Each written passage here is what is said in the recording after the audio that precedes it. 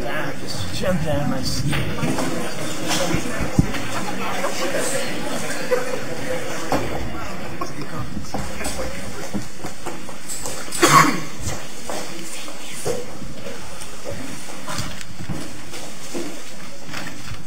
Good afternoon. My name is Devon Carbado, and I'm a professor of law here at the law school and a faculty member in the Critical Race Studies program. And it's my uh, distinct pleasure to moderate this particular panel entitled Colorblind Consequences. And it seems to me that we can't have a meaningful conversation about colorblind consequences without thinking concretely about the discursive terms upon which colorblindness actually comes into being. And roughly articulated, there are two dynamics about which we should be concerned. One dynamic we might call the racial alignment dynamic. The other dynamic we might refer to as the oppositional racial duality dynamic. That sounds terribly abstract, I know, so I want to be very concrete about what I might mean. So with respect to racial alignment, what I have in mind is the following. Color blindness is aligned with Race blindness is aligned with assimilation, is aligned with race neutrality, is aligned with notions of sameness. These ideas tend to travel together ideologically, on the one hand, and then they're oppositionally positioned against another set of ideas. So color blindness is oppositional to color consciousness, race blindness is oppositional to race consciousness, well, I'm taking them off instead of putting them on. Assimilation is um, uh, oppositional to multiculturalism, and uh, race neutrality oppositional to racial preference. Sameness is oppositional to diversity. You get the general idea, I think. This ideological structure, I want to suggest, has a number of different effects that I will mark as a point of departure for introducing our panelists. There are four quick effects that I want to identify. One effect is framing. The other effect is thinking about the ways in which this structure impacts metrics of discrimination, that is to say, the way in which we measure discrimination. We might think about effects on the ways in which colorblindness is uh, expressed, and we might think about domain effects as well. So let's think first about framing. And with respect to framing, I want us to think about this particular scale. It's an admission scale, and what you'll notice immediately is that it's perfectly, perfectly balanced. What disrupts this balance?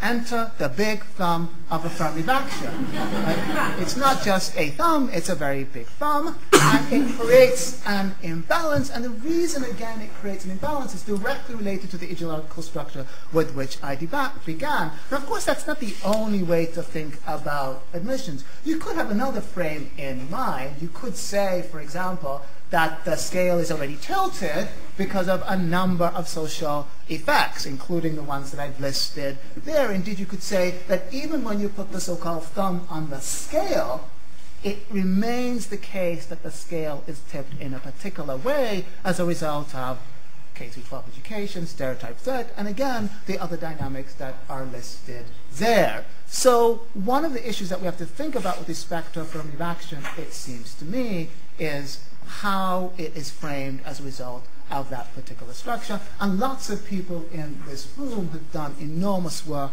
helping us think through that particular framing.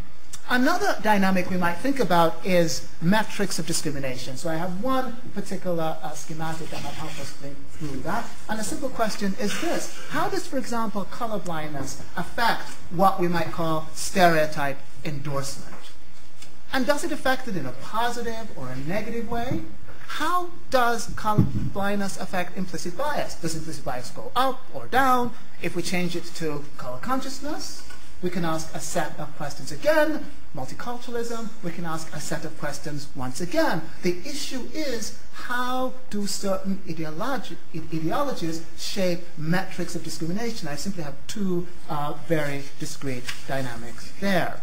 What about mechanisms for expressing colorblindness? There are a number of mechanisms that we might have in mind.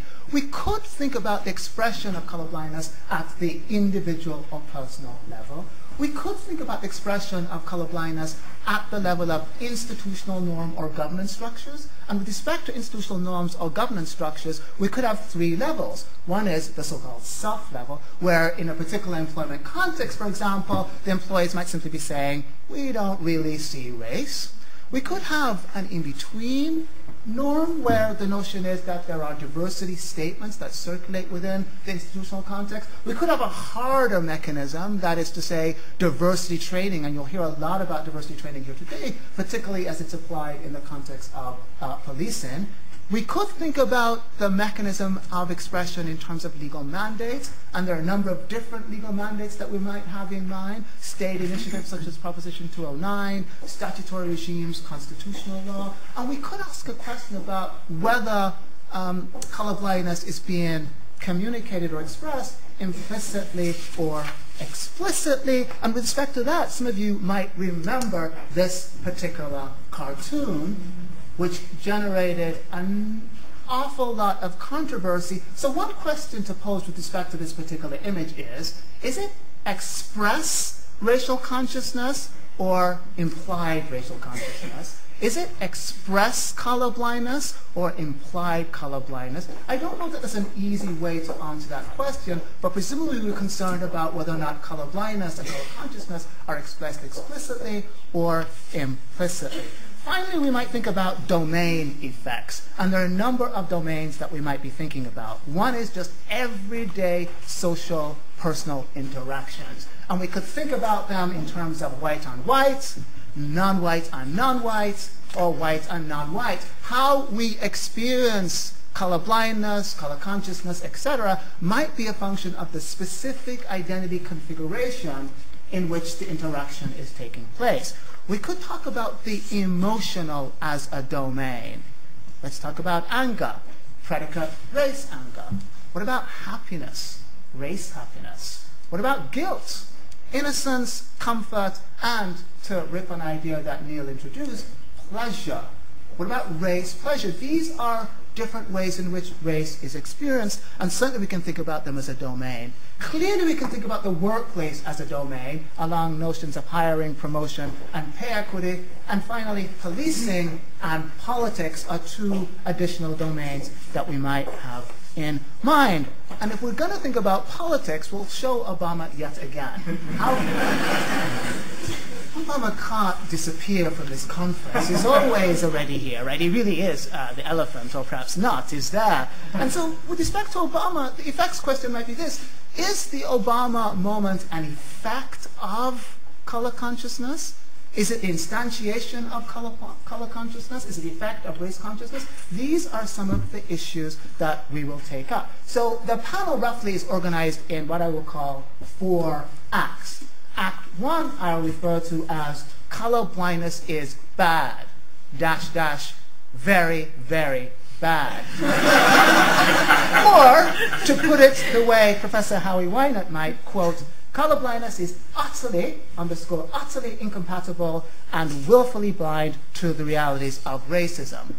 Professor Winant is a professor of sociology at UC Santa Barbara. He's written a number of enormously influential books, including Racial Formation with Michael Omi and The World is a Ghetto. Part of his project of late is to think about the way in which colorblindness and its deployment might shape how we inhabit our racial identities. That is to say, one of the effects of colorblindness is how it positions us vis-a-vis -vis how we occupy race he might get us to think about the question of whether or not we can exercise what he calls race-conscious agency to contest the hegemony of colorblindness. So let me start then with Professor Howie Winant. Please join me in welcoming him.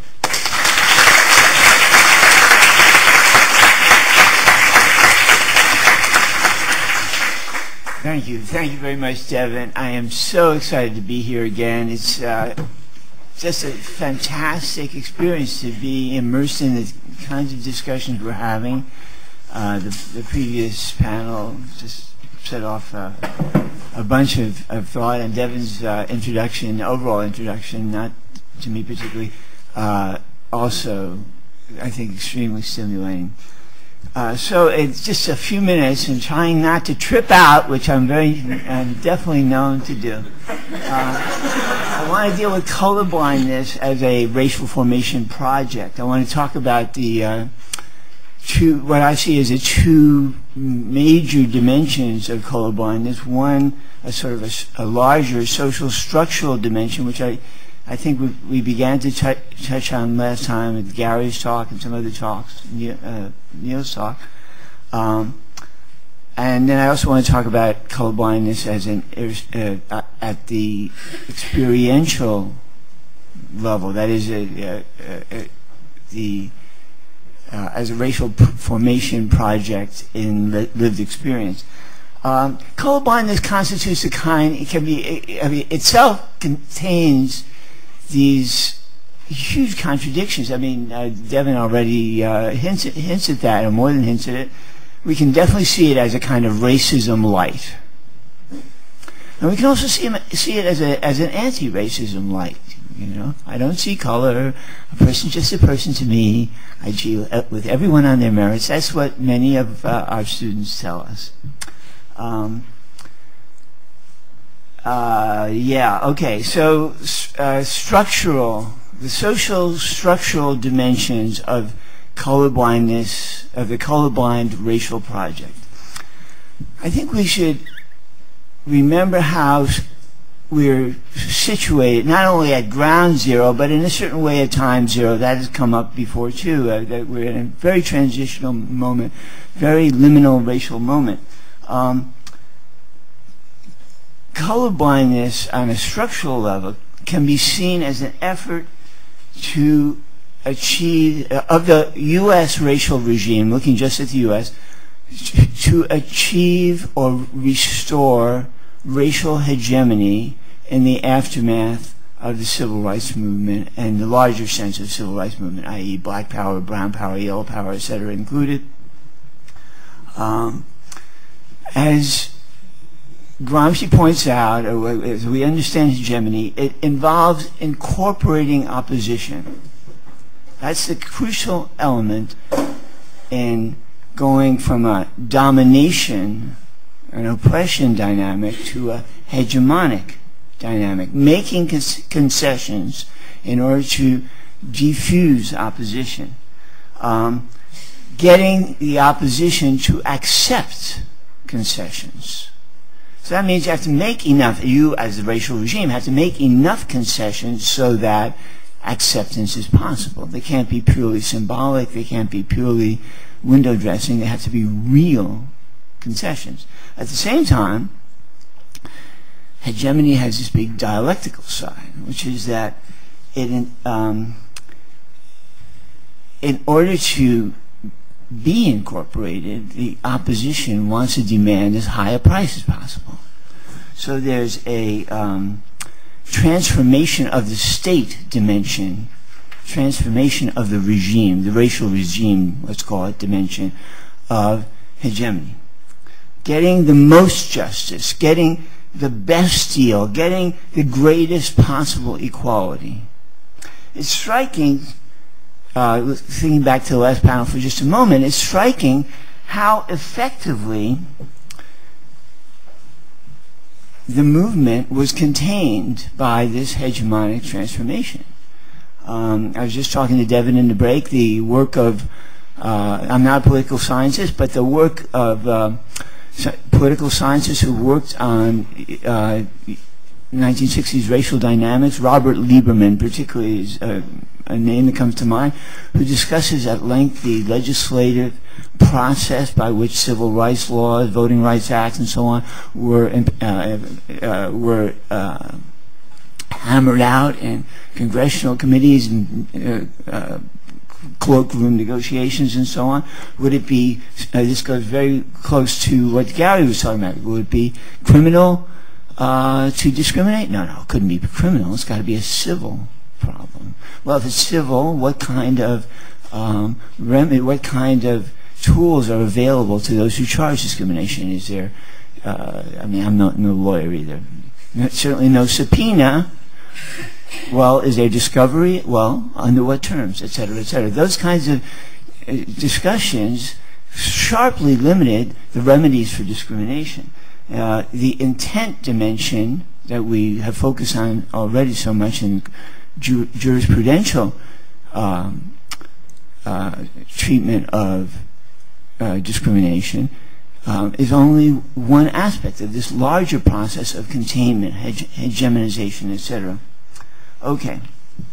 Um, by this standard, though, with all these concessions that were made, with all these um, effective moves to incorporate the movement, the opposition, um, the colorblind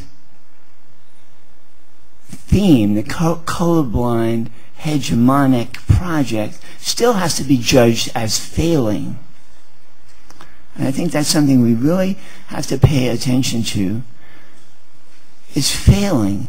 Sure, it's the established rhetoric we hear on all sides, but think about the contradictions that are involved in colorblindness. I mean, we have to uh, uh, uh, assume that we're all colorblind now at the same time as we live out a racialized situation that's as uh, omnipresent as it ever was. Um, and beyond that, we have to note the kinds of shifts that are taking place in the racial present. Not only Obama, although the shift that Obama represents is definitely is re, uh, remarking, uh, is an enormous shift. It may be partial, but still, it may be limited, but still enormous. But think also of the um, uh, the the dem- demographic shifts that are happening in the United States, the transition to majority minority population. Latest projection, two, 2042, the U.S. tips to a majority minority society. California went about year 2000. Under 30 U.S. population becomes majority minority in 2028. Okay, I moving very quickly. Again, danger of tripping.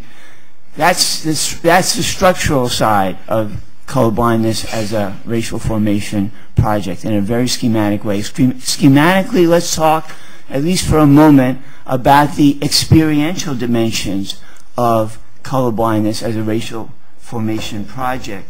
I think we have to see it, colorblindness not as either racism light or anti-racism light, but as um, a, an effect, as a as a Uh, a reduced version of the kind of racial agency, the range of racial agencies that are available to, to us today. Schematically, I'd offer three possible racial agencies. Now think about these as a repertory. Don't think about these as you have to be one thing or another.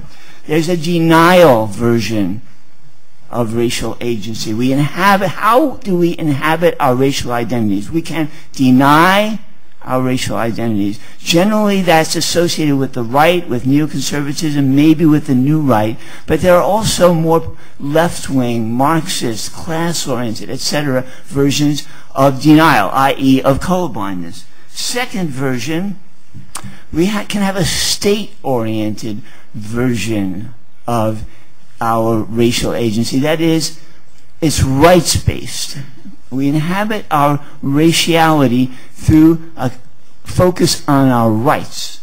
Um, looking at the state, fulfilling the civil rights agenda, um, uh, obtaining full equality, full uh, inclusion, etc.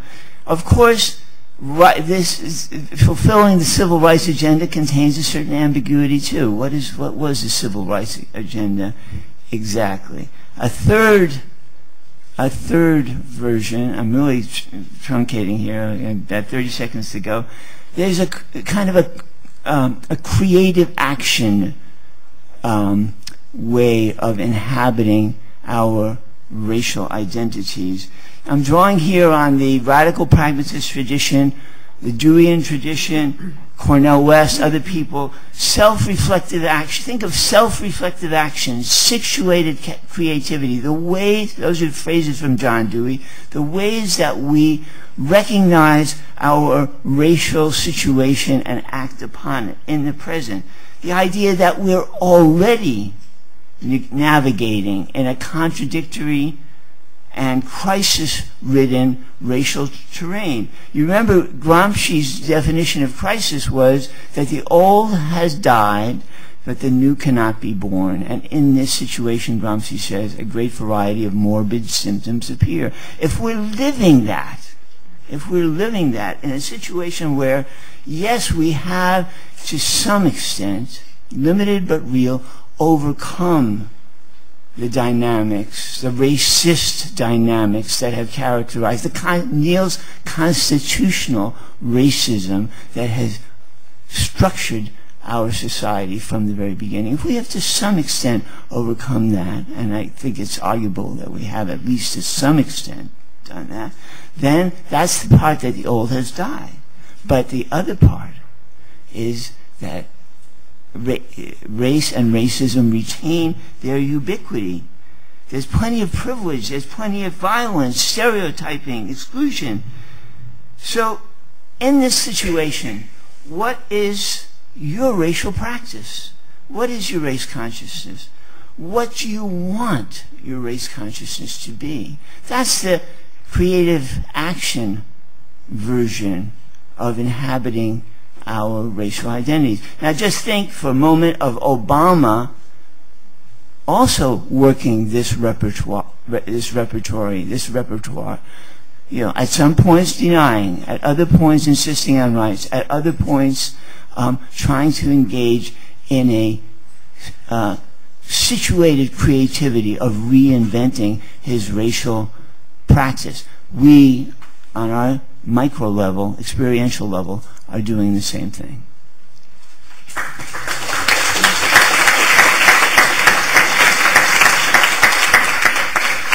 So if Act 1 uh, is about colorblindness being bad, very bad, Act 2 is about diversity being good, very good.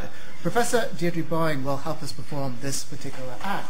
She is a professor of legal writing at the University of uh, Seattle School of Law. Her scholarship focuses on issues of judicial process as well as alternative ways of thinking about plea bargaining. Her recent work focuses on diversity in the domain of higher education, and she's interested in exploring the extent to which the absence of diversity might produce racial hostility, racial stigma, and racial isolation. And this is particularly crucial in the context of affirmative action debates, where the notion is that it's affirmative action that produces racial stigma, racial hostility, and racial isolation. So please join me in welcoming Professor Deirdre Bowen.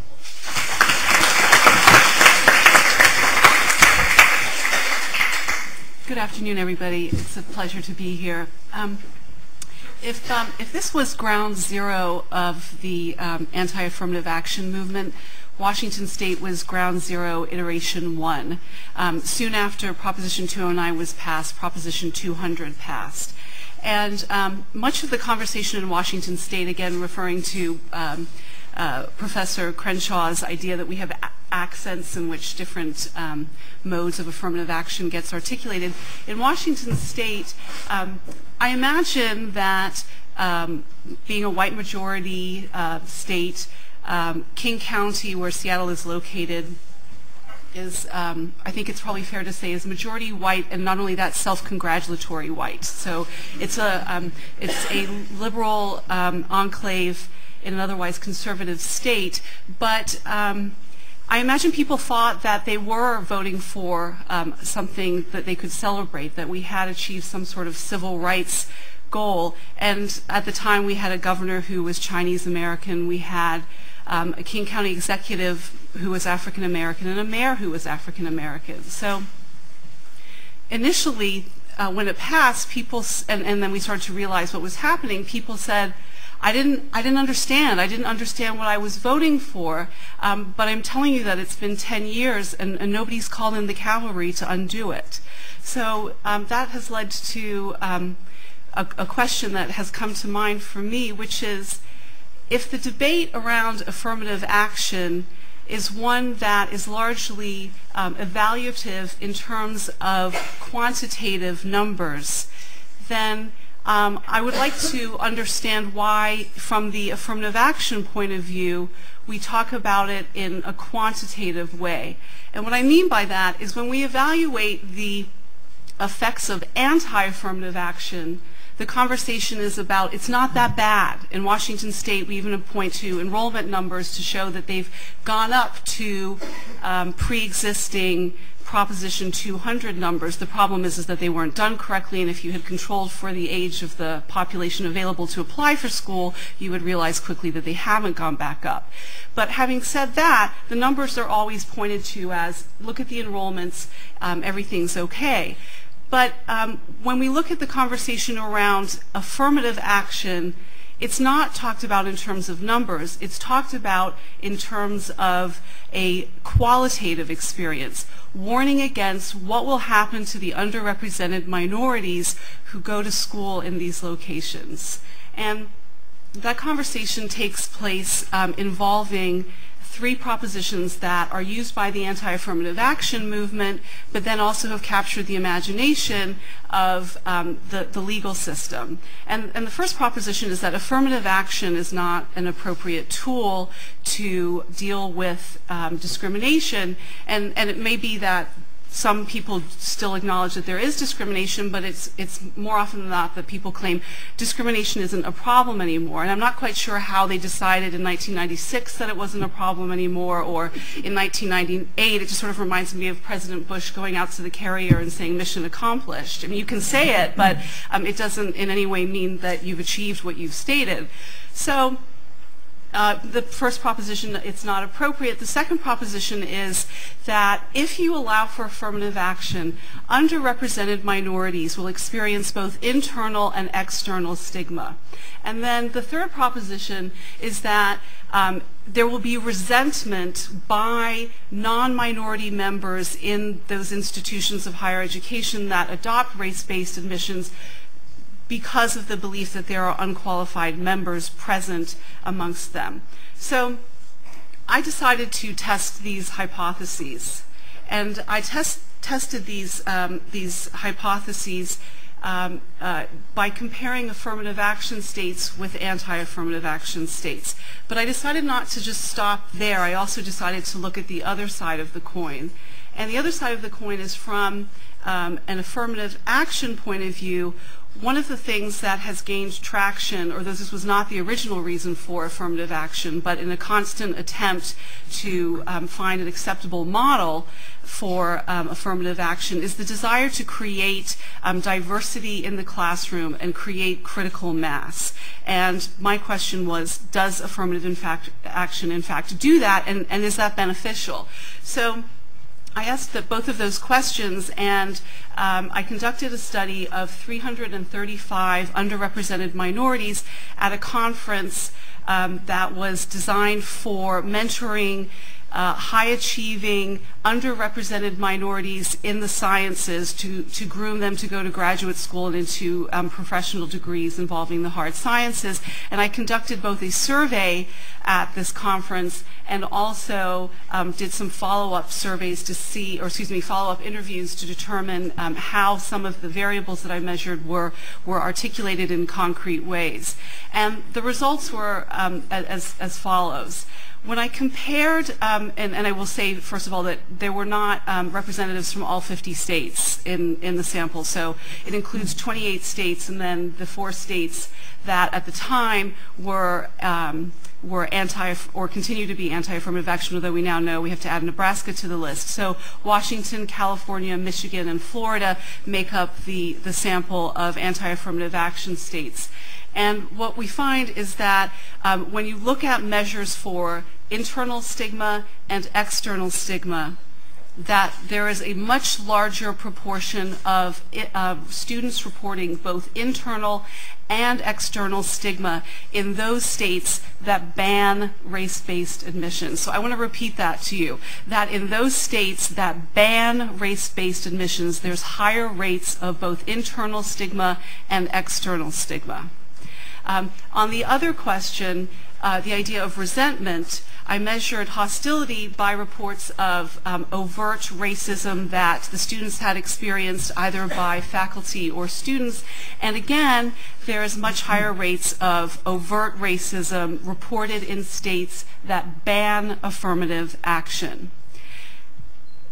So if we stop for a second, this data suggests that um, the hypotheses promoted by the anti-affirmative action group are not in fact supported. Um, how, how, about the other side of the coin? What happens um, when we look at the issue of critical mass? Can you achieve critical mass with affirmative action and the answer is yes. In looking at um, the second uh, part of the question, in which I was comparing students who had never taken a class, never taken a class in which they were racially isolated, with those students who had taken at least one class where they had been racially isolated, the results are in fact the starkest. Um, I want to put this in a, a positive light so I, am consistent with Devon's theme that diversity is good um, rather than focusing on the racially isolated group. Um, those students who have never taken a class in which they were the sole minority report the lowest rates of overt racism.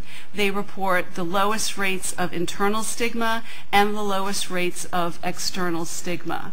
So um, let me be also clear that those rates are even lower than just generally those students who are in um, uh, affirmative action states. And in fact, when you correlate where are students who are racially isolated, I think it comes as no surprise that the highest correlation in the study is between racial isolation and going to school in a state that bans affirmative action. And then conversely, you're more likely to see students in um, who are who are, have never been racially isolated in states that uh, are, are um, that allow for race-based admissions. So the results are are pretty powerful in suggesting that critical mass um, is potentially available. I mean, our, our, next question has to be what exactly is critical mass, but at, at least a baseline, um, we, we know that if we can avoid racial isolation based on our previous um, panel's conversation, that that's, a, that's a good thing, and that's more likely to happen in affirmative action. Um, the, the next thing that I, that I looked at um, dealt with um, once students had experience going to school in an affirmative action state versus an anti-affirmative action state, what factors were they contemplated contemplating as they considered graduate school? And again, over 95% of the students in the sample did plan on going to graduate school.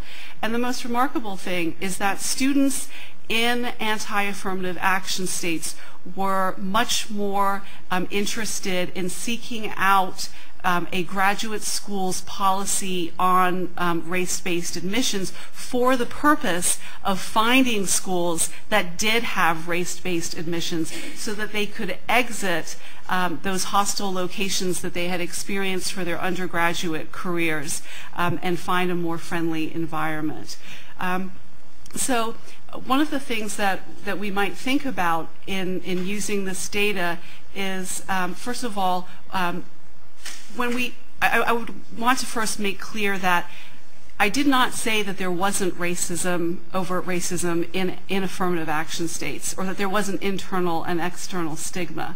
Um, it's, it's lower. So the question that, um, rate that, that raises for me is how then do students in affirmative action states manage their hostility? So we might actually end up with an experience in which underrepresented minorities have a more positive experience, but I'm not sure that it results in a more positive experience in terms of shaking up the racial hier hierarchy in life in general? Are we just creating a situation where everybody's um, um, managing their hostility and in, in a different way?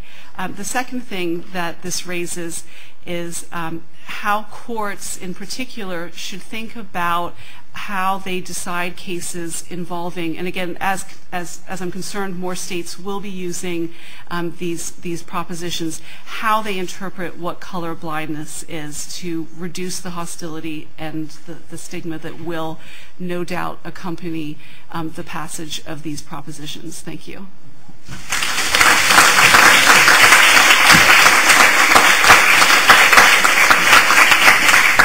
So we'll move from Act 2, where diversity is good, to Act 3, where diversity is bad. So Professor Phil Goff will help us enact this particular script. He'll think about diversity in a particular context, that is to say, training in the domain of policing. Professor Goff is an assistant professor of social psychology at UCLA, and we were very thrilled to welcome him to the UCLA community. His work focuses on the extent to which we might think about disparate racial uh, results, not just a function of individual attributes of particular individuals, but as a function of environmental factors as well. And again, today he'll help us think through why it might be the case that diversity training, something we might think of as being good, can actually produce perverse effects in the context of policing. Please join me in welcoming Professor Goff. Well, I, I, hope that nobody will hold me to the dynamism of uh, Devon's introduction, uh, nor to the idea that diversity is bad and I'm going to prove it. Um, Those of you who know me know that I'm a bit of a storyteller, um, and as you see the, the lack of notes in front of me, there's a story to explain it, and, and I think it's an interesting metaphor to, to begin with. Um, so last night, uh, I got on a plane. I was supposed to get on a plane yesterday afternoon, but last night I got on a plane. Um, and uh, uh, as a result of having been delayed uh, many hours in JFK, um, I was hungry by the time we got to about hour three from JFK to LAX. So I decided to purchase one of the sandwiches that was uh, very reasonably priced at, at $57. Um, It was a, the, the one sandwich they had, uh, turkey sandwich with uh, with a leafy green and tomato. Um, and I saw that several other people in my row had, had enjoyed theirs already, um, in the sense that they didn't grimace terribly when they were eating it. Um, so I ordered one. And about mid-bite into the second half of the sandwich, uh, a voice came over the loudspeaker um, and said, if you have ordered a sandwich and are still eating it, please put it down. Um, that, I've never had anything like this ever happen to me, at, at least not in a plane. Uh, and it was it was explained that there have been people who had had uh, discomfort uh, as a result of having ordered the sandwich. I think it wasn't the ordering, but the eating, but still. Um, and so I, I did put it down. I ordered the, the cheese cracker snack instead to see if I could get my fill. Um, and then after arriving at 1.30 in the morning at the hotel, spent a good deal uh, of time. Uh, those of you who know me also know that I'm a religious man, so I, I prayed to the porcelain god for a little while. Um, I think that this sort of as diversity training, a metaphor for diversity training and for color blindness and for post-raciality is, is an interesting metaphor in the sense that, that sort of diversity training in a colorblind world is the toxins that we pay for but we didn't know we were getting and for which there can really be no compensation. Um, we were all offered our, our $57 back, but I'm telling you that was not nearly enough to get me to go through this again. That the fact that it was free was not really a, a promise. So um, that's also by way of justifying the, the bit of, of scattershot that I'm going to uh, be doing, trying to wear three hats, not just a social psychologist uh, who works with police, but the, the first hat being the son of a philosopher, um, and I'll apologize for that up front. Um, the second hat being um, a, a, social psychologist who studies uh, sort of ways in which we conceptualize of, of diversity and what impacts that hat has. And the third hat is the, is the newest fashioned hat, which is I am now the executive director of research for the Consortium for Police Leadership in Equity. Um, you can find us at www.policingequity.com equity.org, um, which makes us sound and look really official. Um, they, luckily, the webpage doesn't show the, the masking tape and the, uh, the um, chewing gum with which the organization is put together. Um, uh, but I'll, I'll, talk a little bit more about the consortium and I think the, the interesting uh, opportunities we have with that as I get to that portion. Um, in trying to think about how I'm going to put all this together um, with, with, my three hats, I thought I would start with the son of, of the philosopher and talk about the difference between ideal theory and non-ideal theory um, as a philosopher's child. So for those of you who are uninitiated who didn't have Plato's Republic um, at your father's knee uh, at the dinner table at age three or four, um, ideal theory is what we're used to seeing from traditional um, liberal moral and political philosophy uh, in the Western tradition. Right? That is, the world as it should be Okay, and when we think about color blindness in the the words of King, when we talk King's color blindness, um, the traditional interpretation is that well, King was good, and color blindness for King therefore was good. And when he said, uh, you know, I may not get there with you, but the mountaintop I'm talking about is where you know black children and white children, Jews and Gentiles, will be able to be judged by the content of their character, not the color of their skin. That's ideal. That's not what we should be doing right now in order to get there. Right? That's the ideal. And we can learn a great deal from what the ideal should be. Right? So if we understand what we should be striving towards, then that's really the only way we can develop a roadmap to get there. Colorblindness as non-ideal theory, right? And again, I'm talking about in, in a uh, philosophy context, is non-ideal theory generally is this is how we deal with an imperfect world and how we would go about making it better. Okay? Colorblindness in a non-ideal theory is, ironically, non-ideal. right? Because this is what says, all right, so since that's what we're trying to get to, let's just act like we're there now, and that's the best way to get there. You know, the sort of um, sort of faulty syllogism that you can't fix discrimination with discrimination, therefore we should act like we're colorblind right now. And that's, I think, a lot of the, these these two different facets of colorblindness that we've talked about so far today, and I'm expecting to talk about a good deal tomorrow. I just put philosophy stamps on it: ideal and non-ideal theory. um, I want to trouble that a bit because the idea has been that ideal theory is okay, non-ideal theory is not okay. Really? Already? That that sandwich story took a long time. All right. Um, uh, and that, that non-ideal theory is not okay because it leads to a sort of violence, a kind of erasure um, that then perpetuates um, racial uh, discrimination. I, would say that the ideal theory was a bit troubling as well. Um, but I also would, would trouble the idea that that's what King was using that it, I, that colorblindness as a progressive tool has always only and already been a pragmatic approach to white responses to the reality of diversity. Okay? Um, I, unlike Kim, feel sort of liberated um, from the PowerPoint, so I'll just tell stories about the research and then get to the um, the policing context. Um, we essentially were looking at um, the ways in which people, for a number of years, at the ways in which people talked about diversity. Um, I think that uh, you know the, the, work of Evan and his colleagues, uh, Mike Norton and Sam Sommers, have been fantastic at looking at the way that people don't like to talk about uh, diversity. And when I say people, I'm talking about white people. Um, but we were interested in what they actually do talk about when they're forced to. So we had this interesting program at Penn State where I was when we started this research um, that was uh, uh, called the Race Relations Project. Right? It was a Socratic-style dialogue led, led by students. I called it the FUBU of diversity trainings because it was for the students, by the students. Um, those of you who were there get me. Everybody else is just thinking about jumpsuits. It's fine. Um, And uh, essentially, what it did was it brought a group of mostly white students. If you've ever seen Penn State uh, in a the football context, that's a scary, scary scenario of a large group of white people painted in white, chanting in unison. Um, and that was my experience. Deirdre, you kind of reminded me of my experience at, at Penn State. Um, But so a large group of white students uh, in a room, sometimes with one black person, sometimes with no black people, um, talking about diversity issues. So we just watched these 90-minute videotapes. We watched probably about uh, 153, give or take, except that's the exact number. We watched 153 90-minute interviews or, or, or group uh, therapy sessions, um, diversity sessions, um, just to see what themes came up. Um, and as traumatic as it was to watch them, it was also tremendously instructive. Uh, there were two themes that we, we really sort of latched onto, and we, we gave them names. Um, one theme um, we called intergroup analogy, which was when, uh, and I'll use the, the sort of stereotypic example, uh, we had a blonde woman in a particular uh, session who said, you should laugh, black man, the one black man in the, in the, in the group, at black jokes the way I laugh at, laugh at, at blonde jokes. The black individual says, well, is being black the same thing as being blonde? And she says, well, yes people think that you're not as smart as a white race, and I'm not as smart as a non-black. It's the same thing.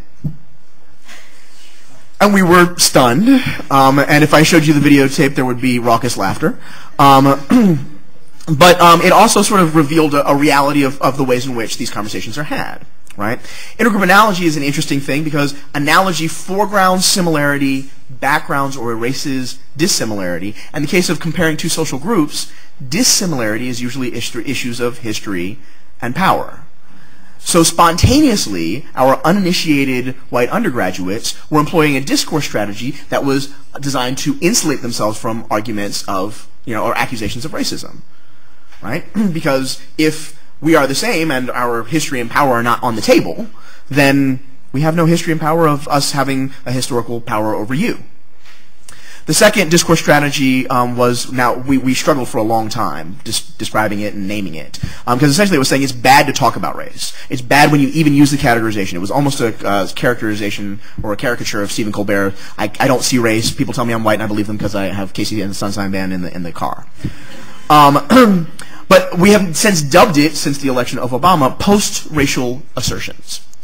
Right, this violence of erasure taken to a new height that not only are we colorblind, but now it's bad to talk about those those terrible old days when we were color conscious. Okay, um, I'll skip skip straight to the end. Stereotype threat for whites, the concern that whites will be seen as racist. And I'm, I'm interested in, in, the kind of conversation we were having at the last panel. I think this this bridges and overlaps interestingly. Um, predicted the use of these discourse strategies. In situations where whites were concerned they were going to be seen as racist, they were more likely to use them. In all white settings, where they were less concerned about, they were less likely to use them. Also, the increase of discourse strategies, this sort of post-racial assertion and intergroup analogy, was negatively correlated with mentions of history and mentions of power. So it's not that, well, we were trying to establish common ground, right? We also measured, you know, individual differences in the degree to which people wanted to establish things like common ground. Um, it wasn't that so much as it was an avoidance of this threat. Okay? How does this relate to police violence, which is the thing that I've been studying for the last two years? In 30 seconds, I'm sure I'll be able to, to cover it fully. Um, we've been doing, we've had, uh, this, the consortium uh, is a new initiative that allows uh, researchers to get essentially unfettered access to police records and police officers. What we've been doing for the last two years is doing research on officers and linking individual officer psychological data to their history of use of force, stops, everything. So um, all of their demographics, their complaint history, their disciplinary history, their performance evaluations, um, favorite food. We got, you know, Larry's a cancer. He likes long walks on the beach and fireside chats and sushi. All of that stuff we have as well as their psychological profile. So for the first time, we can really look at the association between racial prejudice and discriminatory behavior. But the other part, portion of it, and the part that I was supposed to be talking about um, in the next 10 seconds, is that we got to do pre and post tests on academy recruits. Pre-diversity training and post-diversity training. We also did a critical look at what the diversity training was. Now, the diversity training, interestingly, is they say, first thing to do, establish common ground. How do they establish common ground? Establish common ground with those very same discourse strategies that our undergraduates were using, which also lets you know how advanced diversity training is in terms of, of what they're telling the police officers. It's about as advanced as uninitiated undergraduates who for the first time are talking about race ever in central Pennsylvania. now, how does that lead to increases in violence, which is the thing that I'm really interested in? Well, I'll, I'll leave you sort of with these two bits of information. Um, when we were looking at disparate use of force towards African Americans, the number one predictor was not racial prejudice, right? Number two predictor was insecure masculinity, which is a whole other conversation that we'll have another day. But number one was the threat, the threat that they would be seen as racist. Okay, why? In officer safety training, you are told that number one, most important thing, to preserve your safety and other safety, is you must control the situation. Only way to do that is you got two kinds of authority, moral authority and physical authority. Moral authority is I wear this itchy blue uniform, I've got the badge, I am the law, I respect my authority. Um, and most of us do, in fact, do that. But in part it's because of the threat of the second kind of authority. If I'm a police officer, regardless of how altruistic and progressive I am, and I see a car full of African Americans who I, I just know they're going to think I'm racist, what happens to my moral authority? It's gone. The only authority I have left is physical authority. Now, even if I start and it's a good target, it's one, it's one of those, you know, good black people who's never done drugs and wears a suit, three pieces even. Um, if I begin under threat and my only tool is, hey, I'm just like you, I'm blonde, guess what? That's going to become racially uncomfortable in a whole lot, a whole lot faster than it would need to. And at the point where it becomes racially uncomfortable, you see escalations in physical violence. Okay? So in fact, the color blindness and post-raciality that we are teaching even to our undergraduates, right, even as ideal theory, has the ironic and unintended consequence of leading to black people going to the hospital when they talk to the cops. Okay? I want to leave you with this just one last little bit um, of, of sort of a context for the policing bit, as I've done my philosophy hat, my social scientist hat. Um, in 1996, the International Association of Chiefs of Police uh, issued a report on police brutality, not racial bias and police brutality, police brutality. Um, number one line, my favorite line to it, it says, essentially, we know nothing about police brutality. And that's because there have been no data collected. Police departments have not, sort of, in a comparative way, allowed that kind of access. In 2001, after having done uh, as, as good a study as there exists on police brutality for the past 10 years, so from 1991 to 2001, the ICP report uh, uh, issued a second report in conjunction with the National Institute for Justice, which is our Department of Justice on the federal level. My favorite quote from that one is, essentially, we know nothing about police brutality. So as we move forward talking about colorblindness and, and my favorite topic, which is violence, because it's fun to talk about at cocktail parties, um, as we move forward in that, I think it's also important to see what we actually have been blind to in the sense that we haven't been able to get access to it. We literally know nothing about some of these areas where we, we sort of think that race has been important. We, we know in an anecdotal form that race has been important, but there hasn't been enough of a push in documenting it. I'm thinking particularly, Kevin, of, of your comment earlier where people said, well, I'm not sure if I'm even supposed to be taking count of this. You know, Prop 54, which thankfully failed, right, which was an, an ordinance to say we can't even keep count, keep track of this. This may be the true threat of post-raciality, that we lose the ability to talk about where race actually matters. I'm way over my time, so I'll stop talking.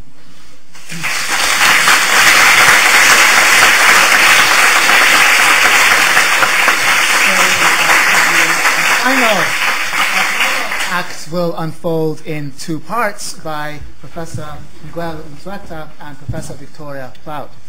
Professor um, Unzueta is an assistant professor of human resources and organizational behavior at UCLA's Anderson School of Business, and part of his research focuses on the extent to which dominant groups conceive of uh, race-related issues, how dominant groups, that is, conceive of race-related issues, including but not limited to issues involving affirmative action and diversity.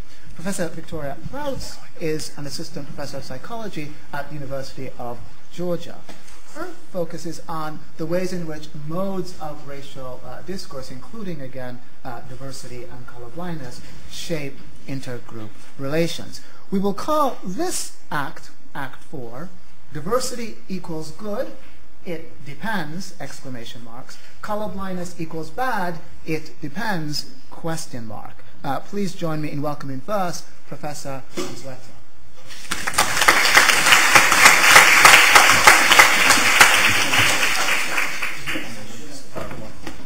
So I hope you'll uh, forgive me uh, that it's not my PowerPoint. Forgive you for another Obama am- slide? I, um, I have an Obama mention in my talk. Nobody knows about it. But he, he may come up at the end. So I hope you forgive me. I, I am unable to free myself of the uh, training wheels of PowerPoint. I do, after all, teach in a business school, and that's just the way we communicate in, in business school. through PowerPoint. Almost there. Okay. Hit it front. There we go. There it is. Okay, great. Thank you. And the clicker is here. All right. Uh, and it works. Okay, great.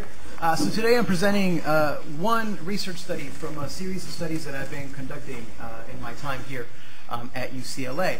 And specifically, what I'm interested in exploring is how the effect uh, of exposure to either colorblind or multicultural ideology affects the perceptions people form about stereotypic or counter-stereotypic um, targets. Um, one thing uh, that I am able to do, uh, uh, thanks to psychological methodologies, I am able to put unsuspecting undergraduates into either a multicultural or a colorblind mindset. And the way we do that is by borrowing materials uh, from previous researchers who have developed uh, these kinds of primes. So imagine you are an undergraduate student who takes part in one of my studies, and that you are randomly assigned to take part or, or to be in a colorblind uh, mindset. What we would do is we would expose you to a short paragraph describing the basic tenets of colorblindness. So you would read a paragraph that includes this kind of information. So in order to overcome interethnic conflict, we must remember that we are all first and foremost human beings. We're not independent factions, but rather part of a larger whole. Uh, you're further told that social sciences encourage us to look beyond skin color and, and to see that at the core, we're all really the same. So this is sort of a greatest hits of the tenets of colorblind. and what ends up happening is if you're asked to read this and read it carefully uh, as an unsuspecting uh, subject, you tend to at least temporarily think in, in colorblind terms. Now, to contrast that, uh, I want you to, to see this colorblind prime. So here is a greatest hits of, of, uh, of multicultural ideology. If you were in this condition, you would read that we are in the unique position of having many different cultural groups living within our borders. Uh, this could be a great asset because different cultural groups bring uh, uh, different perspectives to life uh, in terms of solving strategies, problem solving, etc. You'd also be told that social scientists argue that the ability to recognize these unique social characteristics uh, allows us to create smoother uh, interactions. So again, you simply get the basic tenets of multiculturalism when you're exposed to this kind of prime.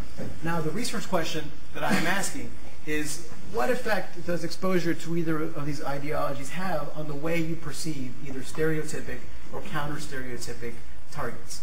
And by stereotypic, I'm referring to an individual who possesses characteristics that are uh, typical uh, of their particular racial in-group. So you can think of an African American who enjoys hip-hop music.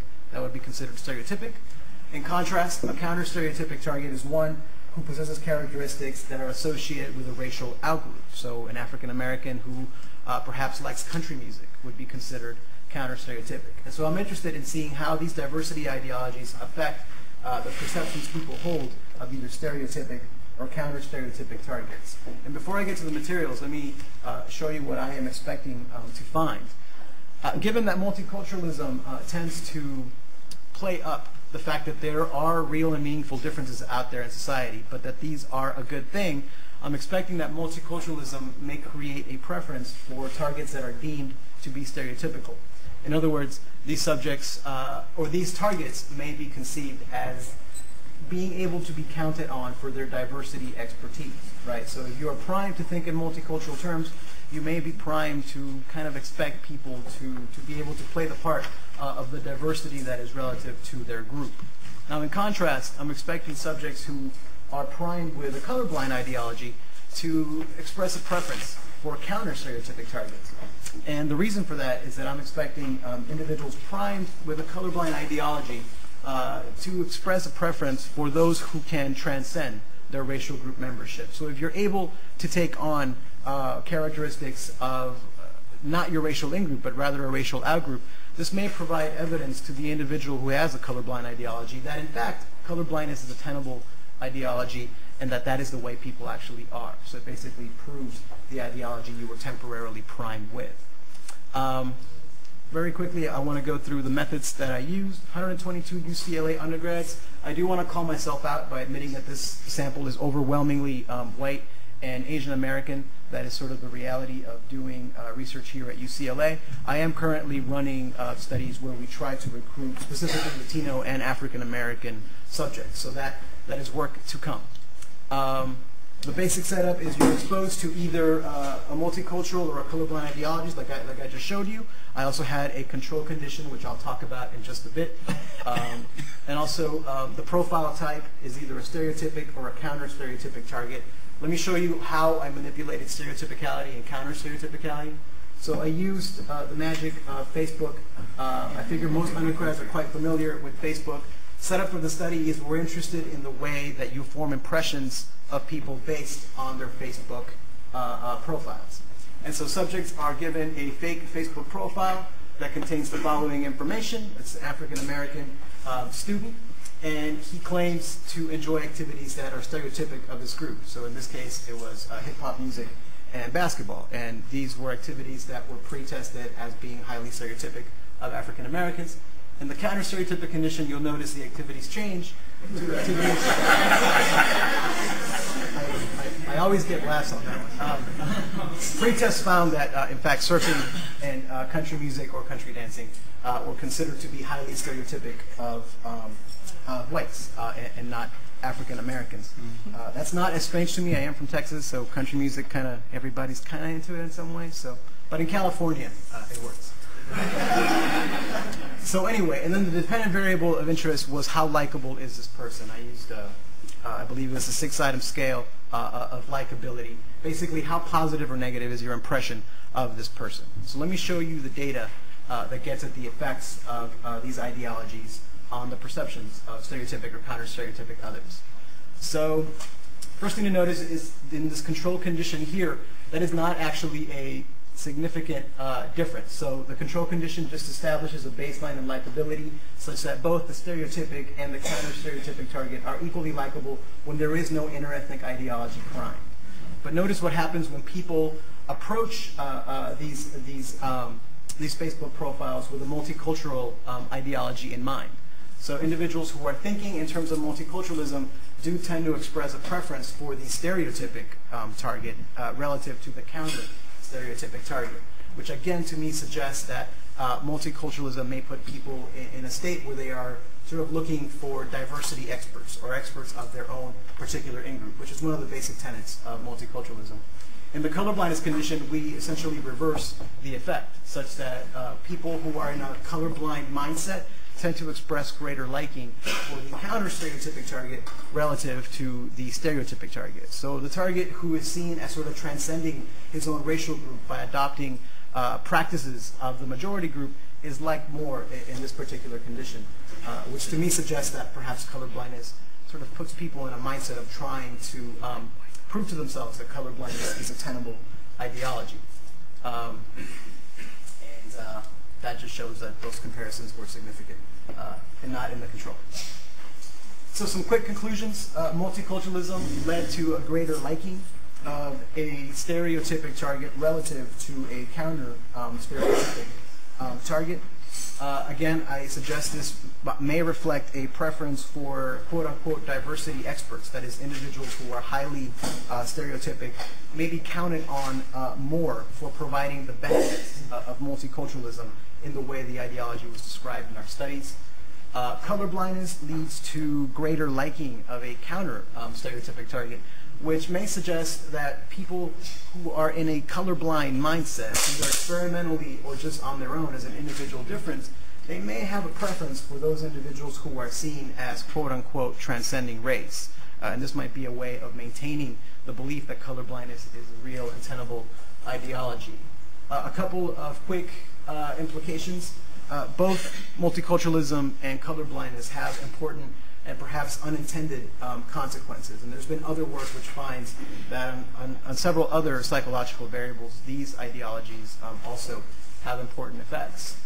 Uh, with regards to the present study, it appears that multiculturalism in certain environments, it may create pressure uh, for members of minority groups to, in a way, educate minority outgroup members. So if you are walking into an overtly multicultural environment, this may create the expectation that you are going to get some kind of multicultural education from individuals that are deemed diverse or multicultural.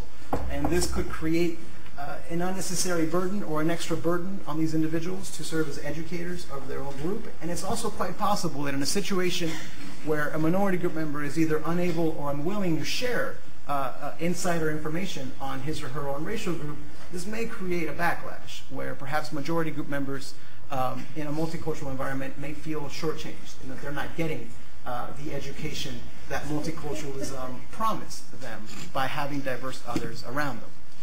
Um, I think more important, though, uh, for colorblindness, a potential implication is that a colorblind prime or a colorblind mentality may create a, a, situation where people seek out evidence or perhaps individuals who allow them to maintain the belief that we are, in fact, past race. Um, I find it interesting that um, there's been a lot of, of talk of how uh, Barack Obama is able to sort of transcend race. And I think to view that as a compliment, I think that has to come from an individual who perhaps explicitly or maybe just implicitly believes in the tenets of colorblind ideology. So to the extent you can transcend race and that that becomes a good thing, I think that is a, a phenomenon that is rooted in, in colorblind um, ideology. Um, also, I think a, a very important consequence uh, of sort of seeking information or seeking individuals that allow you to maintain a belief that colorblindness or your colorblind ideology is real and, and a tenable way of, of, of, living in the world, it may make you ignore uh, existing uh, racial inequality, whether it be uh, at the uh, individual level or perhaps at the institutional level, um, which is um, a source of inequality that um, it's hard to ignore, but it seems like people are quite adept at doing it anyway, and perhaps colorblind ideology may allow individuals to avoid noticing these uh, examples of how race continues to matter in, in the present day.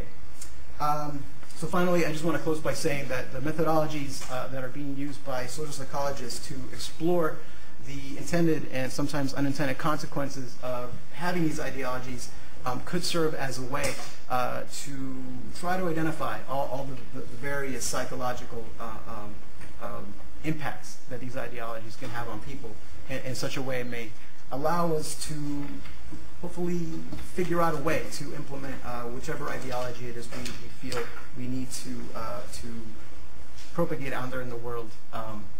Anyway, I'll just stop at that. Uh, thank you very much.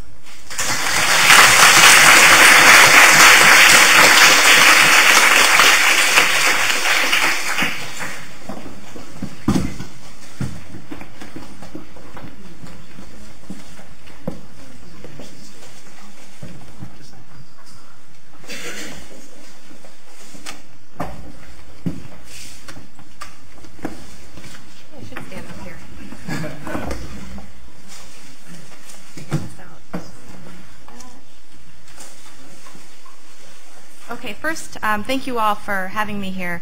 I'm, um, I feel very privileged uh, to be here today. I'm a social psychologist at the University of Georgia, so I feel privileged on multiple levels to be here. Um, I want to thank my collaborators, organizational psychologist Kecia Thomas um, at UGA, and also my graduate student Matt Goren. Um, Kecia and I started the Center for Research and Engagement and Diversity at UGA, through which we ran the research that I'm going to talk about today. But first, before I go into that research, I want to talk about a tension that's been growing in U.S. workplaces, schools, universities, politics, um, there's the Obama picture. See, I've got one too. Um, and legal arena, a tension that social psychologist James Jones has called a new American dilemma. And that is this tension um, between uh, these two ideologies, multiculturalism and um, colorblindness, that have been um, invoked um, already in this panel.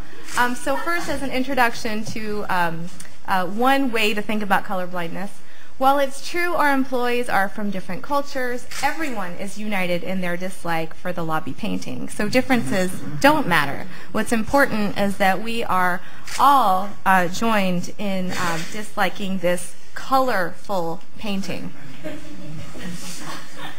Um, this one embraces multiculturalism. A community is made up of dreams, ideas, and hard work. It is a blend of the ideals of men and women from diverse backgrounds, like woven threads in a colorful tapestry. Each new idea inspires us to work and grow within this diverse fabric called community. Um, so these two ideologies, I'm not the only one in social psychology or in other disciplines to, um, to examine them. I like to think about them as understandings or ideas and practices about how groups should relate to, include, and accommodate one another. And um, very broadly speaking, colorblindness could be defined as this idea that people are all the same and group differences are superficial and should be ignored and mi minimized. With multiculturalism, people may be different, and differences associated with identity should be acknowledged, valued, and included. And I do acknowledge that both of those are um, loaded with multiple meanings. Um, but for the purposes of this talk, I'm going to talk about them um, as two broad models. Okay, previous research on consequences. What do social psychologists have to say about the co consequences of these models? Well, first of all, we know that color blindness, for example, when people are primed with the essays that uh, Miguel so kindly inserted for me in his talk, um, that increases um, racial and ethnic bias. It does, it does increase implicit bias uh, relative to multiculturalism. Um, we also know from wonderful work by Eric Knowles, Brian Lowery, and their colleagues that individuals may actually use colorblindness to justify inequality and to maintain a system of inequality. Um, we also know that colorblindness predicts public policy voting behavior. I wanted to put these up here for you so you could get a flavor of what kinds of policies are endorsed by people who tend to um, endorse colorblindness. Public institutions shall not grant preferential treatment in school admissions, employment, hiring, or business con contracting to any individual or group on the basis of race, sex, color, ethnicity, or national origin. And an amendment to the Constitution should be made that requires federal, state, and local governments to conduct business in English and not use other languages, even in places where many people don't speak English with regard to treatment, and I understand that my notion of treatment is possibly different from the notion of treatment um, that you're used to, but by treatment, for example, um, as we saw in Evan's presentation, utilizing color blindness can actually decrease um, the quality of interracial interaction with more social distancing, for example. And colorblindness in therapists, according to counseling psychologists, um, is predicts lower empathy of therapists towards black clients and blaming black clients more for their psychological um, problems. Um, we also know that colorblindness is associated with more racist treatment of students and with um, perpetuation of inequities in the first study that I know of by a social psychologist in schools. Um, and from Valerie Purdie and her colleagues, we know that colorblindness can provoke minorities' distrust relative to multiculturalism. Why do I have this in red? Well, it's because it's an important bridge to the research that I'm about to show you. Um, what I would like to find, what I wanted to find out in this research was what are the implications of colorblind and multicultural beliefs for actual minority outcomes in a setting that is occupied by both majority and minority individuals. Um, I wanted to do this in the real world. Um, there's not, I don't have a problem with college student samples, but I wanted to do this in a real organization. And I wanted to know whether colorblindness is associated with what I call a toxic climate for diversity and multiculturalism with a flourishing climate. Um, this is an organization of over 10,000 individuals. We got a pretty good response rate for this kind of survey, 4,900 individuals. Um, organization is highly skewed to white, 79% white. Um, it is not in the South. I can't tell you where it is, but it is not in the South. Um, previous research shows that a lack of inclusion leads to this is um, this was animated on my Mac, but it's not anymore. So lack of inclusion leads to psychological disengagement. We also know from previous research that psychological disengagement among employees leads to lower productivity, lower profits, and higher turnover in organizations. Therefore, this is the outcome we chose for our study, psychological disengagement of minority individuals in the organization. Okay, so um, what is what is psychological engagement? Psychological engagement is defined by organizational psychologists as um, something like doing well in my job tasks and duties is very important to me. I am proud to tell others that I work at this organization. In, or, in other words, it's not just satisfaction with one's work, but feeling connected. Feeling connected both to one's work and to one's organization. Um, colorblindness, we were very limited in the number of items we could put in this survey. It was a diversity climate survey that we conducted for the organization. Um, so, uh, the oh, multicultural is first. Um, multicultural beliefs, organizational practices should support racial and ethnic diversity, and employees should recognize and celebrate racial and ethnic differences were two of the items. Two of the colorblindness items were Employers should downplay their racial and ethnic differences, and the organization should encourage racial and ethnic minorities to adapt to mainstream ways. I recognize that this is just one aspect of colorblindness, but it's an important one because it's the assimilative aspect of colorblindness um, that often is so oppressive. Um, and then just to remind you, what we're looking at here is the association of whites' diversity beliefs with minorities' psychological engagement in each work unit, in a department, and we have 18 departments in this organization. So just to illustrate our hypotheses, if you have a department where people are thinking we should downplay difference, I don't see race, I see people for who they really are. Everyone should assimilate to the dominant culture. Race and ethnicity don't matter. I don't care if you're black, brown, purple, or polka dot. People are all, are all the same. We are all one race here. It is American. We're beyond race. We've got a black president. Then you can imagine that that sets up a certain climate for diversity. Um, a climate where it's not um, too difficult to imagine that um, people of color in the department might start to think, my work isn't important to me. Or might start to feel like they don't like to be there, like they don't like their job, or that they don't feel connected to their organization. Now, on the other hand, if you have a uh, department where people are thinking we should celebrate difference, and bear with me here on these, let's have a potluck.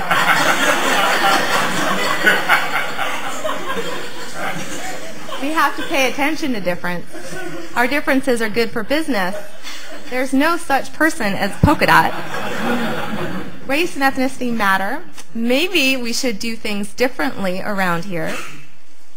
Um, whoops. Our differences are good for business. Maybe we should value different ways of being. You can imagine that their um, uh, uh, employees of color um, in their department might think my work is important to me.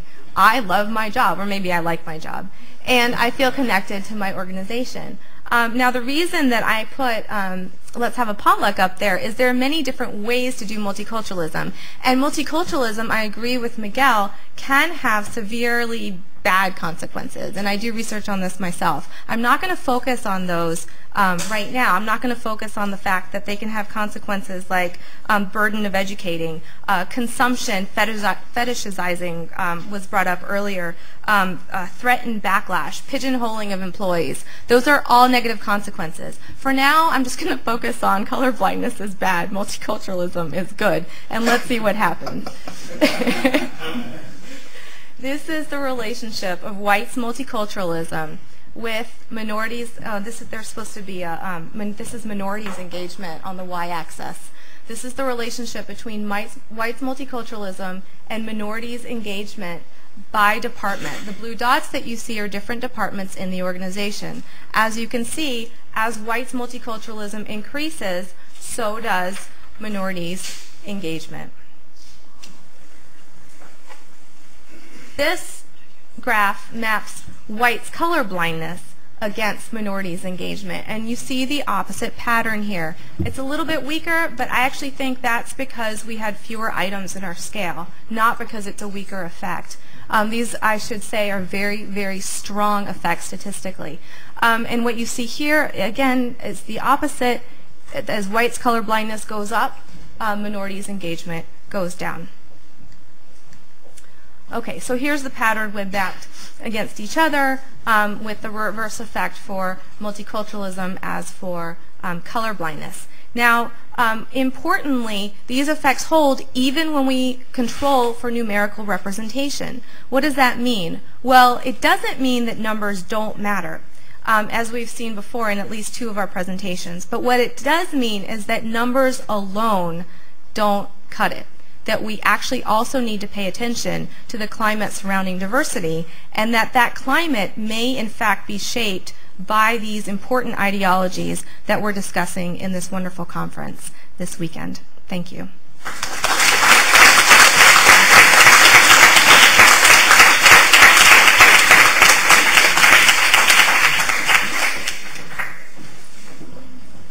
So much food for thought, I must say. So what I'll do is ask each of the panelists a question, which I won't actually um, invite them to answer directly, because I do want to get your questions on the table as well. But if I could just throw the following few questions out very quickly.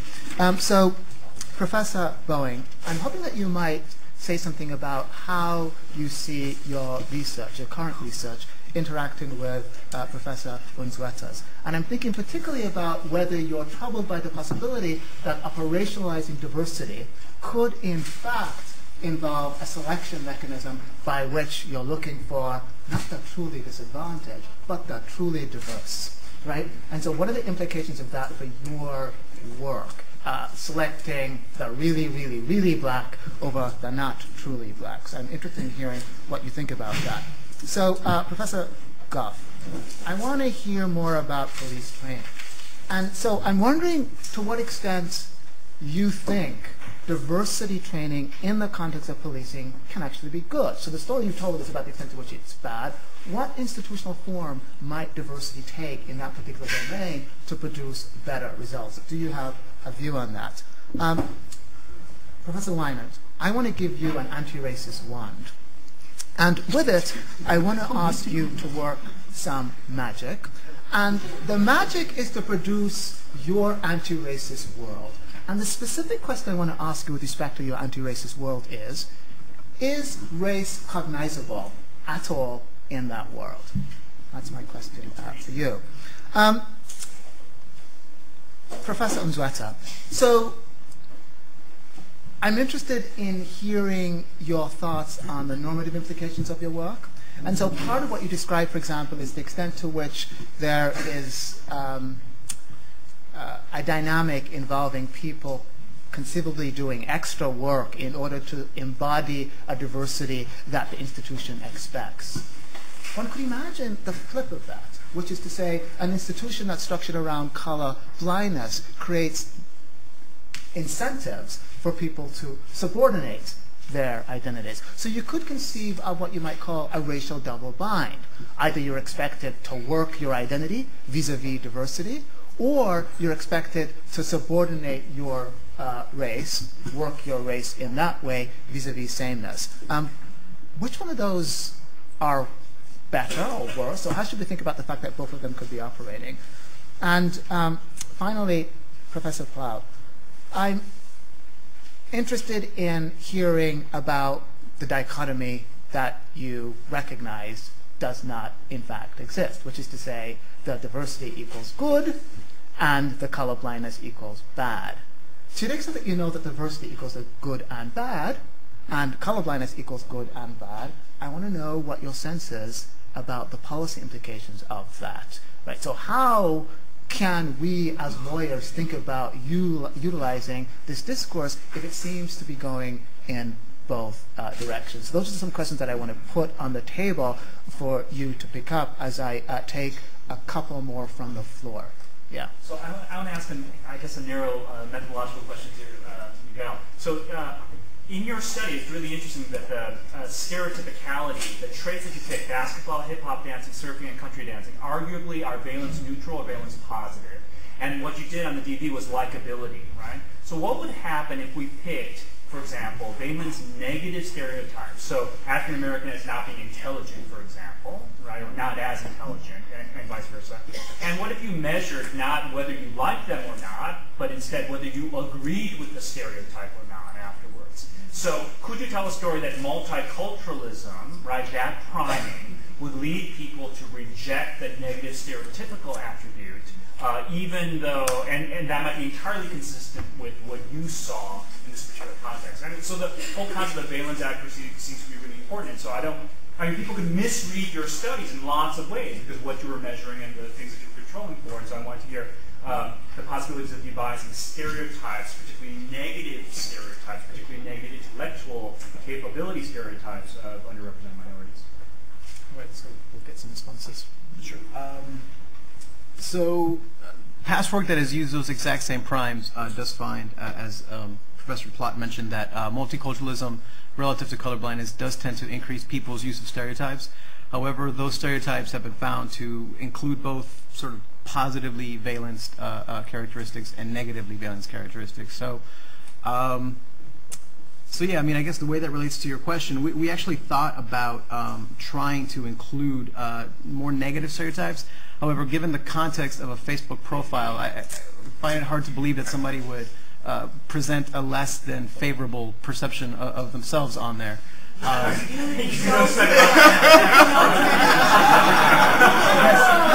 like being dumb and committing crimes.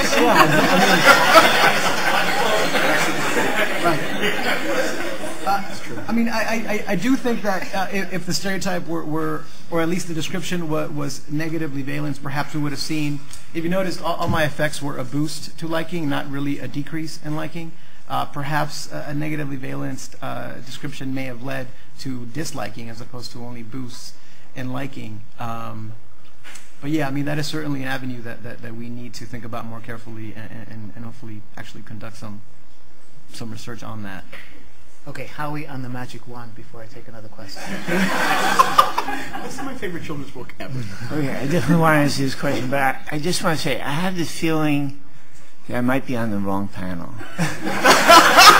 because because I would make this criticism of my own field, sociology, as well as of uh, sociology of race, as well as I would make it of uh, psychology. But it seems to me that the questions that are being debated here are largely the same questions that have been in place for the past 50 years.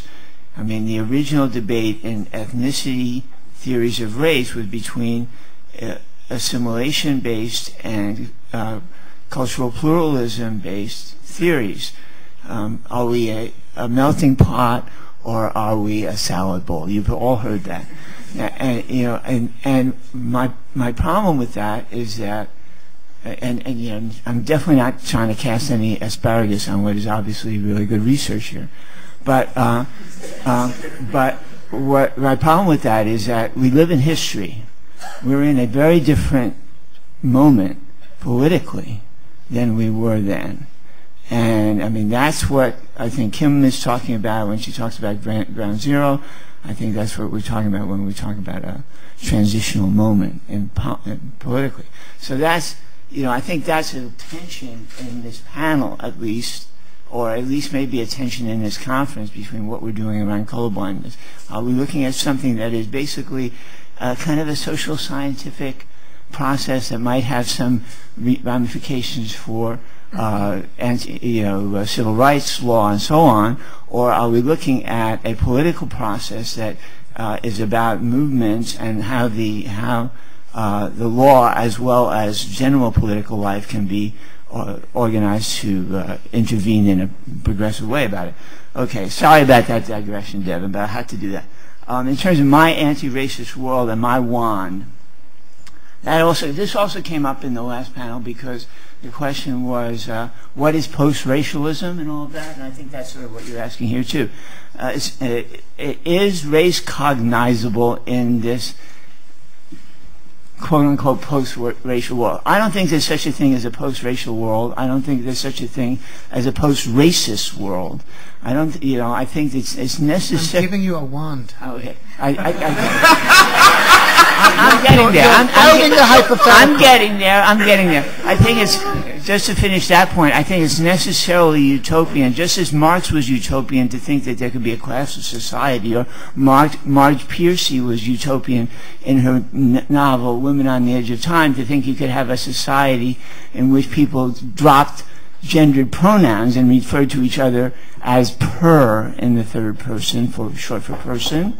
So I think it's uh, utopian to think that could, we can get beyond a race. But the, what, what I think what we, that does point to uh, something positive that we are doing, which is we we can move to uh, generate structural differences in our society, which in, which will affect positively affect the uh, deep disparities and inequalities that exist, and which will validate the differences, so that. Um, and this is not something that we have no experience with historically. Again, we live in history. This has happened in the past. There are all sorts of formally racialized, stigmatized groups that have achieved much more, if not entire, equality. There's all, there's all kinds of um, violence against others of different kinds that has been eliminated or much reduced. So I think it's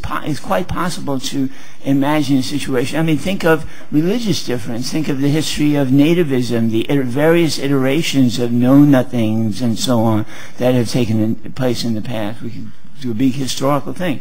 So I think it's very possible to not to wave our magic wand, but I, obviously to mobilize ourselves in different ways um, to. Uh, uh, begin to efface the most striking elements of those disparities, injustices, and uh, oppressions. I, I don't a good enough answer for you. It's an answer that we'll accept. Um, Professor Goff, you had a response. Well, yeah, so I actually wanted to push you on answering the wand question in a different sort of way because I think that the answer I'm hearing from you is um, that in whatever world you would create, um, it wouldn't be post-racial because that's not possible. Um, I, I, wish that people would listen to us when uh, us being academics when we say that something's not possible, but far too people, few people do. And so the answer it's we shouldn't because it's not possible is different than an answer that is we shouldn't because it's undesirable. Because that end state, that ideal theory, would be a bad place to be in and of itself. And I, am wondering whether or not you, with your reluctant use of your magic wand, um, would create a, a, a utopian world that would be post-racial. I mean, that would be not post-racial because a utopian world would have to take account of, of racial categorization. That that would be a necessary part of human existence um, that would just have sort of different valence and different outcomes attached to it. And the reason that question is important to put on the table, it seems to me, is because we always have questions about getting to some end without thinking hard enough about what that end might look like. And it's true that it's an act of utopia to some extent, but it seems to me it's worth thinking about the limits of our racial imagination.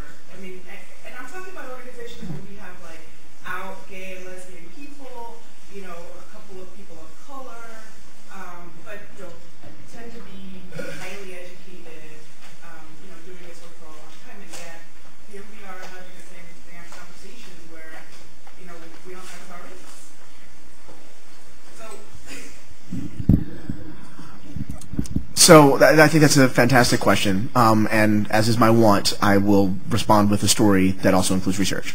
Um, so uh, I have uh, a, a more humanist uh, colleague and friend who does brilliant work, uh, Sarita Srivastava, um, who's at uh, King's uh, University or Queen's College. There's royalty and it's in Canada, um, but she does research on anti-racism and anti-racist movements, usually within um, white liberal organizations, particularly within feminist organizations, right? Um, and so we did a data collection, um, particularly on crying. Um, and I, I'll explain as simply as I can. Crying on crying, tears, tears, tears. Um, right. No, and, and, and this is, and, and the story. uh, um, I'll get to policing in a second and the expertise. And but I think the answer, the, the short answer is they're the same. And here's how I how I get to there. Um, so we uh, took uh, essentially interviews. We uh, we had them fill out some surveys, essentially talking about all right, when have you seen crying in the organization? What's the most common? And uh, what we see from the non-whites who were involved in the feminist organizations that we spoke to in Canada is that all of them say it happens when race comes up. And our white female colleagues are responding to a threat of being seen as racist with tears. Okay? Um, and we find that unbelievably debilitating and, and counterproductive in the sense that you're not supposed to respond harshly to it, but we see it as a form of racial oppression because they're responding to us being in pain and us being victimized racially within the organization by a socio-emotional signifier that they themselves have been victimized by something, right? And so if we then respond, then we're being mean and nasty and we're victimizing them and yada yada. So and I'll, I'll tell you more about the, the rest of the research because it's a lot of fun. Um, but so, so so first of all, there is some research that that's being done on exactly that. Um, but I think the interesting story and the, the reason why I said the short answer is it's the same is that there's I mean much like there's no crying in baseball, there's no crying in cop work, right? Um, but we talked to our when we did our interviews with our African American and Latino and Latina officers. We said, okay, so when do you see shows of emotion? Well, you see shows of emotion all different kinds of ways, but it's usually happiness or rage. When do you see crying? Well, it's it's when race gets brought up and there are female supervising officers, white female supervising officers. It's the same in these organizations. So I think that it's a myth that cops are somehow there to do evil, right? At least most cops get on the job because they want to do something good, like that's that's generally valued as good. It's it's similarly a myth that people are like, I don't know what I should do. Should I go into a nonprofit or should I worship Satan? Right?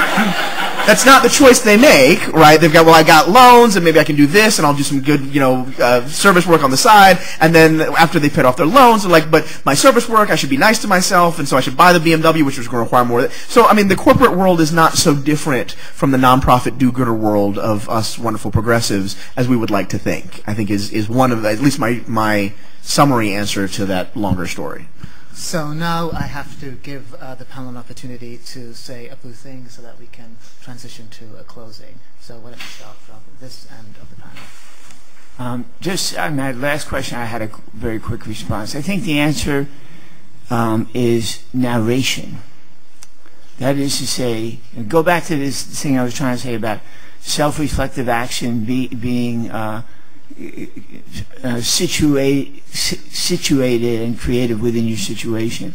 If if if um, systems can be created, if norms can be created, if uh, politically conscious work is going to be done in those organizations, I think it's going to be about uh, creating opportunities for people to tell their stories. And a lot of times I think that means writing their stories. When, they, when you write down what's happening, and when there's some organizational way of processing that material, that, um, that means uh, that people will come to some greater awareness, not only of their own si- situation and its dilemmas and contradictions, but of, of each other's. And I think that if, there, if the political will exists to process that nar- narration, narration's around and everything. Is, I know it's a big thing in law as well.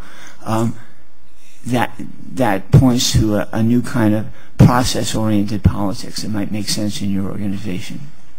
Miguel, and if you could say something about the working identity vis-a-vis sameness versus working identity vis-a-vis difference as you close. Sure. Um, so, I mean, the, the first thing is, uh, as everybody uh, on this uh, panel, uh, this panel, and also the panel previous, uh, either explicitly said or uh, implicitly uh, uh, said. Colorblindness does seem to be quite, uh, it's just not realistic given the, the reality of, of um, sort of the multicultural world that we live in today. But that said, I think the uh, multicultural ideology, at least the way that I described it up, up in the study, when you look at the way multiculturalism i- i- is, is talked about um, out there in the real world in, say, corporations and even universities, it, it tends to be all about the, the wonders of difference and the difference in cuisine and, and the fact that we all wear uh, different outfits based on our ethnic group membership. And that is a, a good thing, but I, I wonder if we can do more uh, when it comes to emphasizing multiculturalism. And I think that more could be actually talking about uh, entrenched social inequality and uh, uh, power differences uh, that uh, are reproduced through institutional uh, uh, forces, as opposed to just focusing on the surface level, on the stuff that's easy to see and easy to value. And I think if, if we did have perhaps a third or a, a, a different way of thinking about multiculturalism, perhaps we can move this debate forward uh, from, say, the melting pot and, and, and the salad that you were referring to, to something else, something more meaningful um, that really will allow us to, to, uh, to perhaps truly integrate uh, the society and these kinds of organizations that we're um, associated with. Um, And again, if you can engage the question of the screening possibilities as a function of different manifestations of diversity. Absolutely. In, in response to that question, Devon, I would also um, add um, that I, I tell students that we, we don't have a melting pot, we don't have a salad bowl, we have lasagna. And um, that, that's what we need to come to terms with. And, and what I'm saying with, with lasagna, um, my, my, my Sicilian grandmother, you know, just makes lots of layers. And so there's a, there's a racial hierarchy, but there's some oozing that tries to make us feel good, that maybe some people get above and some people get below. But fundamentally, we're, we're still in a racial hierarchy, and, and, and that's, that's a problem. Um, so um, in, in hearing um, uh, Professor Unzueta's uh, research, it concerns me when I situate it within um, my work. And, and here's why. Um, when, when, we when we use multiculturalism, um, and, and perhaps we, we often are, are guilty of using interchangeably with diversity, I'm concerned about diversity as consumption.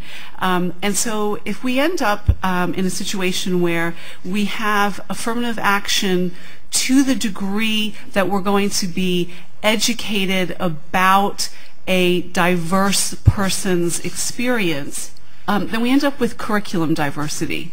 And I don't think that's why um, we need affirmative action, um, because then we just are inviting people of color to perform for us. That's a type of minstrelsy that we don't need at all. Um, on, on the other hand, I do think if we think about diversity in the way that it was intended, that Charles um, Lawrence suggested that we need to go back to thinking about it as a way um, to redress um, past discrimination, which nobody wants to talk about anymore because we don't get anywhere with that as a, as a, as legal discourse, um, then perhaps we can start dealing with the, the lasagna piece. Um, and, and to that end, diversity that creates critical mass so that individuals are in the classroom not as um, pieces of the curriculum, but as individuals who are free to engage um, the as they see fit and then create a social status as they see fit. That's the kind of diversity I'd like to see. Thank you. And Victoria, and again, if you could help us think through the policy implications of a discourse that says diversity can be good and bad, colorblindness can be good and bad. Is there a net gain at the end of the day? Or How do you do the math? Well, first I want to say, Howie, I have um, data on racial denial, so we should talk. So we do belong on a panel together. um, and I have similar problems um, that I stated before, and also as Miguel stated just now, and um, Deirdre also about multiculturalism and that it doesn't push issues of power at all. And I actually, in my early work, um, on this used to try to use different terms for that model and used to put power in there and inequality in there. And my social psychology peer reviewers kept pushing me to use multiculturalism. So it's interesting how that uh, framework just keeps getting um, perpetuated.